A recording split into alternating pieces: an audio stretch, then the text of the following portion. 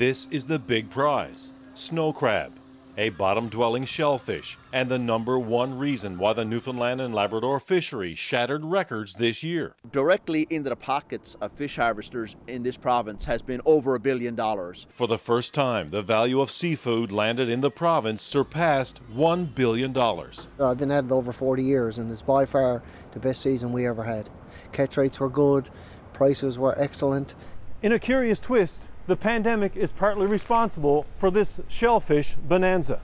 Last year, at the height of the pandemic, the all important seafood buffet practically disappeared from hotels and restaurants. So, pre cooked and frozen crab and lobster started turning up in grocery stores, and consumers responded in a big way. Well, now this year, the restaurant business has also bounced back. Setting the stage for a market like never before with harvesters paid $7.60 for a pound of crab, more than double last year's price, meaning a lot of extra cash in the pockets of harvesters, benefiting the economy and hundreds of coastal communities. I see some of my people now getting new vehicles and, and, and doing stuff to their house and you know, they're spending money because they got a few extra dollars to spend this year. Like it's unreal and it's nice to be able to see them, not only me, them be able to afford to be able to do a few different things that they couldn't, you know, they couldn't do in the past. Harvesters are certainly pleased. They're able to reinvest in their vessels and gear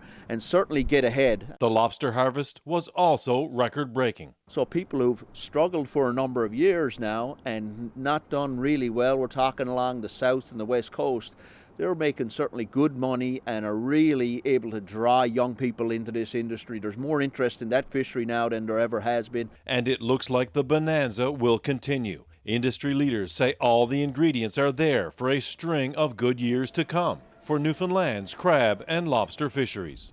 Terry Roberts, CBC News, St. John's.